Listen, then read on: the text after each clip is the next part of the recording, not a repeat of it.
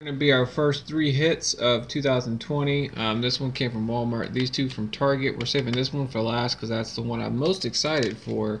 Um, but let's go ahead and get cracking. And as always, you can go to packsearchers.com to find all the details on how to find the hits. Alright, so pack number one.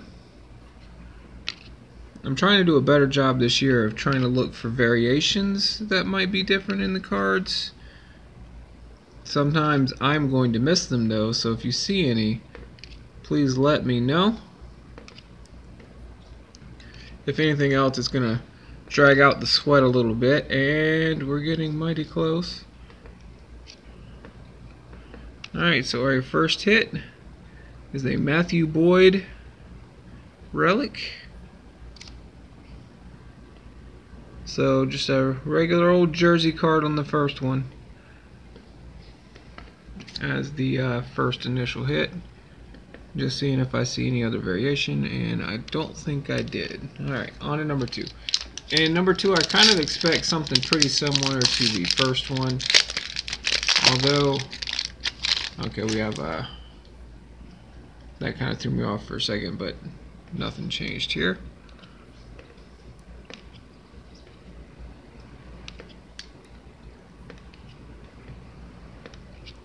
It's a clean look this year. Um, I think it's going to be difficult though to pick up some of the variations sometimes. Alright, for hit number two, this is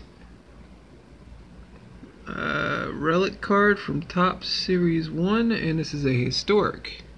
Alright, so it's a, uh, I guess it's one of the special inserts. Um, Rhys Hoskins is like one of the new special inserts this year. Um, so you can see the 35 emblems to give it an, old school look. Um, so it's a pretty cool looking card. I don't know how rare it is. I'm not seeing any sort of numbering here, so um, I'm going to assume that's a pretty common hit there.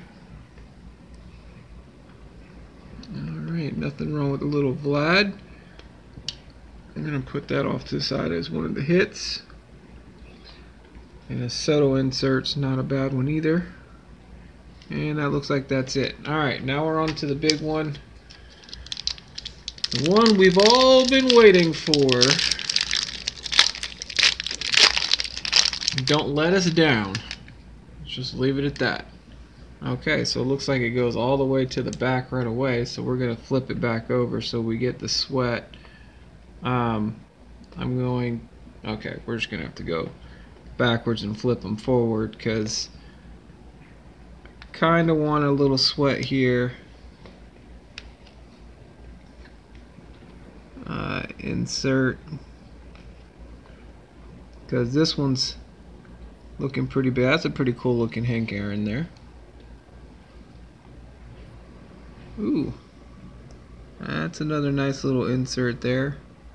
Trying to pick up the name. Cain. Oh, Lorenzo Cain. Okay, there we go.